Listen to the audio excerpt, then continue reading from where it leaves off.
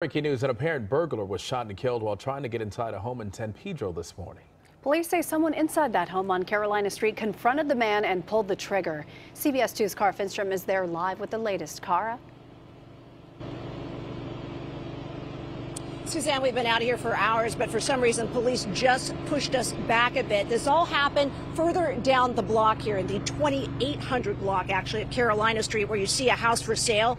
An LAPD spokesperson says at about 8 this morning, it appears the homeowner shot and killed a man who he said was breaking in. One of the responding officers told us when they arrived, they found the suspected intruder who'd already died inside, and there were signs of a forced entry. He also told us a woman was in the home at the time, along with the couple's dog. A neighbor who ran out to try and help called the homeowner a good man who's lived in the neighborhood a while and had no problems with anyone here. A car parked in the driveway has police tape around it. It's not clear whether or not that might be the car of the man killed.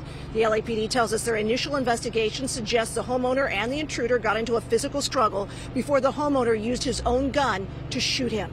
It's unclear whether the man killed, who's described as being in his early 20s, was armed. A neighbor we spoke with is worried about the homeowner.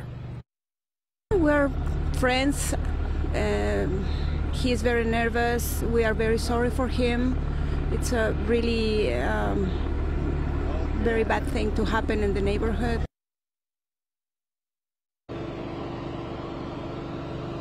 Now, clearly, detectives will consider whether this is self-defense or not, uh, but they tell us at this point it's very early on in their investigation.